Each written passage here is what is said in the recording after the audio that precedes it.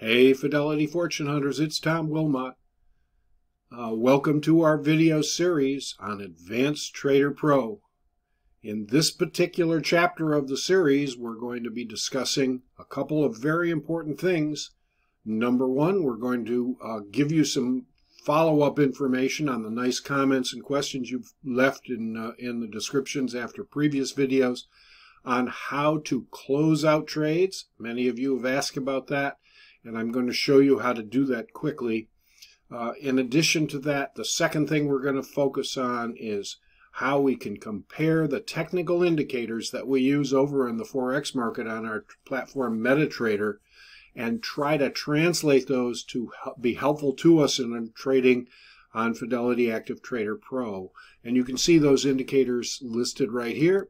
And we're going to uh, describe a couple of new ones for you today as well as compare them to how we uh, handle the Forex marketplace. So hold on to your hat. We'll get started right after this.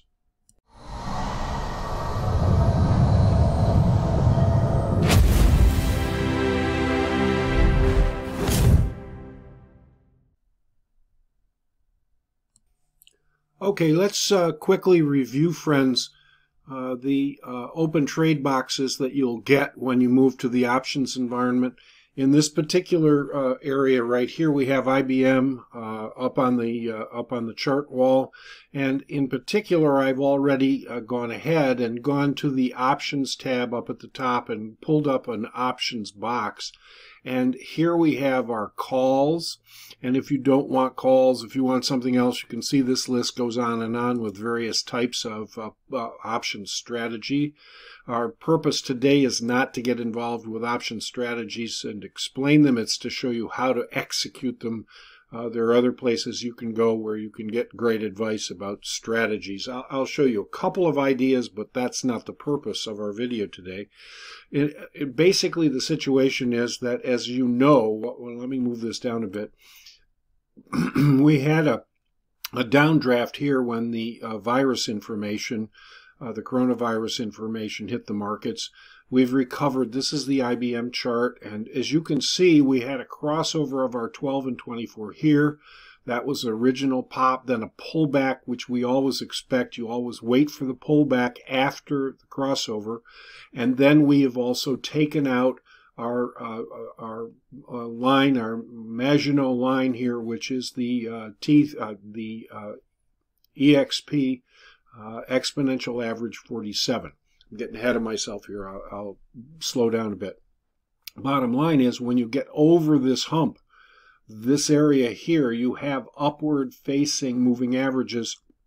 You get a second pullback into the bands, and any one of those areas, especially after you cross the 47, is a pretty great place to enter.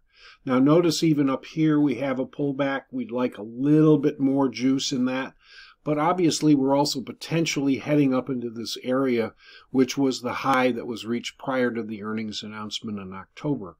So, in any event, uh, let, I'm not suggesting you buy IBM options or that it's going to go up, but seriously, these are the upward indicating uh, areas. After you see this crossover, you basically have a buy zone anywhere afterwards. Okay, that's the buy zone. That doesn't mean you buy. That means that there's an opportunity if you get the right setup to get involved in the marketplace.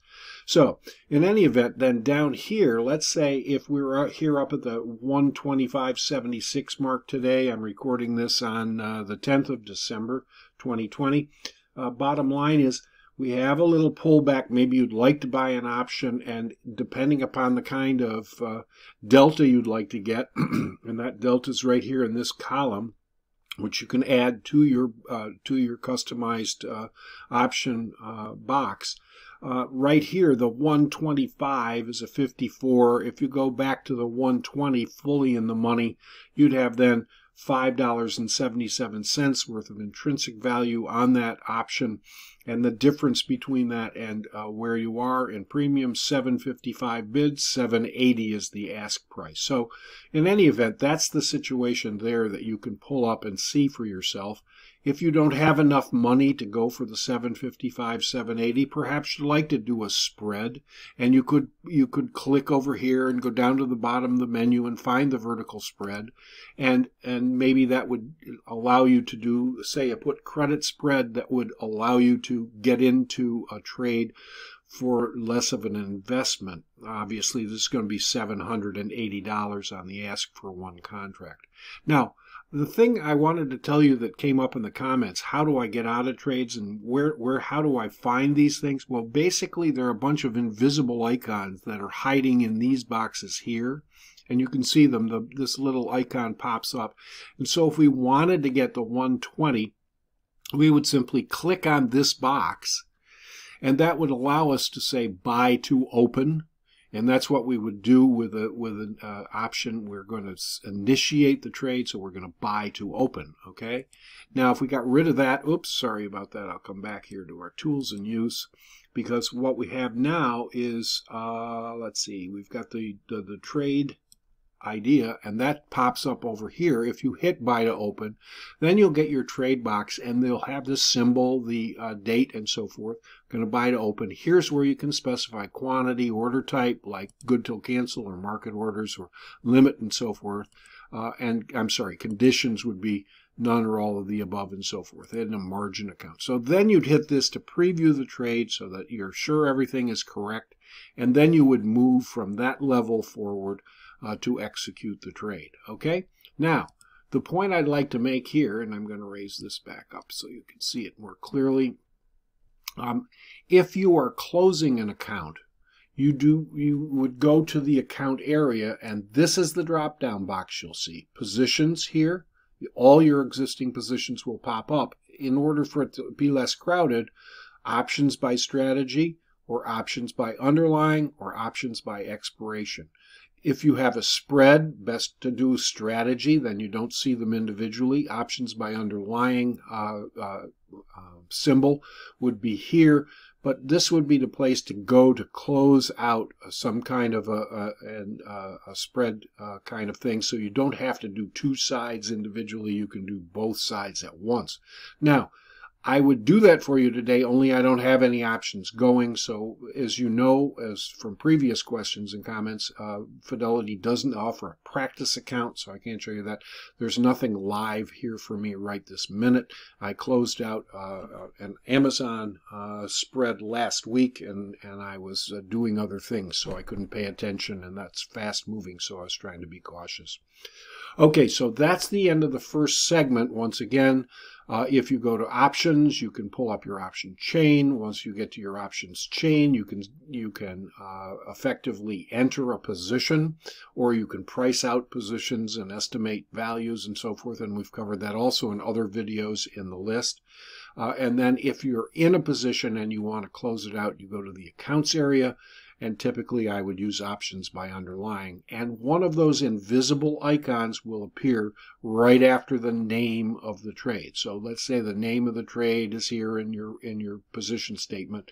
Right after it is where you will find that little box to, to run your cursor and click in order to close that strategy. Hope that helps. Next segment, we're going to talk about the Forex market just a little bit to compare our technical indicators. Okay, so uh, for those of you who are new to some of our videos or who have never looked over at the currency trading area on our website or in our other videos and have been just interested in ATP, that's fine, but I want to show you why we got into Advanced Trader Pro uh, in the first place, and it was uh, for two reasons. Number one, I was interested to see if my indicators could be translated uh, onto that platform, and if so, if they would help. And uh, so that's what we've been up to. And then once I got into ATP, I decided that there wasn't much explanatory information on the internet, so I thought I'd throw my hat in the ring, and uh, and this is the result of it. So, in any event, here is uh, the uh, for those of you new to it, just a quick review uh, or overview rather Uh, this is the US dollar versus the Japanese yen. So if you see uh, charts moving to the north, that means the dollar is strengthening. Later on, you can see the dollar might be weakening. And here was a situation where uh, and by the way, currencies are primarily driven by interest rates uh, and interest rate decisions in various central banks. That used to be a little easier to track before we had like zero and minus interest rates in Europe and all sorts of bond buying programs and crazy stuff like that. But the bottom line is that, you know, the interest rate really has an impact on the value of every currency, and the central banks work very uh, hard to compete with one another to attract funds. So, in any event, bottom line here now is that with the pandemic and with potential uh, big uh, ticket uh, strategies by the Fed and by the central government to uh, to uh, get the economy going again, that's going to weaken the dollar. So you saw this morning with the with uh, some kind of an employment uh, result that wasn't what was expected, we had a drop off in in what was happening here as we headed in. This is the beginning of the day last night at eight o'clock, and it, the forex market is clearly a 24-hour market. But in any event, we had to move higher, and then once the information hit uh, around around 7:30. Uh, uh, Eastern Eastern Daylight Time, Eastern Standard Time, sorry, uh, we had a downdrift in the dollar here based upon the fact that, you know, we had higher unemployment than was anticipated. But who cares? We're going to move back to technical analysis. Notice that we have here on our MetaTrader uh, platform the RSI with the same 45-55 band in place. And number two, uh, we have uh, our multiple moving averages, which are listed right here, the 12, the, the 16, 20, and 24. We also have the 47 uh, on our, uh, on our uh, uh, I'm sorry, on our uh, exponential moving averages and so forth. Uh, these are two others. One is called Trend Magic. That's quite helpful to us as we uh, track ourselves uh, in the marketplace. And the other is a chandelier that helps us to tell when the markets might be changing direction. And you can see here that the uh, upside chandelier, which is right here, once it's uh, taken out the support line comes in place and you can see we did have a very nice kind of a move to the north. Once we got clicked out here, we had this one appear and that's a downside, uh, upside resistance downside is looking like the direction of the trend. And that was pretty clever and clear. Now, we don't have either of those in Fidelity, so let me get rid of those right now. I'll delete them for you so you can see. This leaves us with what we have right now in Fidelity. Now, there are two things that I wanted to uh, talk about a little bit. One is the ability to have the T3 Tillson uh, in our in our uh, mix. This is a smooth moving average, and you can see it also is quite helpful. Once on a 30 minute, 15 minute chart here, 15 or 30 minute chart, you see the moving average is crossing the T3 Tillson. That's a pretty good indication that that we have uh, a move to the north coming. Likewise over here, move is stalled, the moving averages have crossed back over and, and down we go. Now the T3 Tillson is pretty much the same as the uh, as the exponential 47 and it will become an important piece of information for you when we move over to uh, uh, uh to uh, Active Trader Pro in just a second here. Uh, the other thing I wanted to say was that many of you may have heard of another indicator uh, that is a trend indicator, and it's the Ichimoku cloud. That's the indicator that was put forward in uh, in Japan uh, many years ago, part of the rice trade. It's uh, ancient uh, and very very powerful uh, indicator, and it has a cloud associated with it. And the bottom line is, if you're above the cloud, it's positive, and below the cloud, you're not. So here's what it looks like in MetaTrader. I have eliminated some of the other lines uh, that are available to you in uh, MetaTrader to show how the system works as a standalone system. I prefer to use the cloud just because my uh, indicators work great for me. When you come out of the cloud here, notice the same thing here with my 1224 kind of thing and so forth, and then back down. And the idea is if you're inside the cloud, it's going to be a little choppy, and indeed it was. So Now, that's enough of MetaTrader. If you have interest in that, please uh, check out my other videos and my uh, couple books on, uh, on uh, Amazon Kindle. In particular, those are listed down in the description.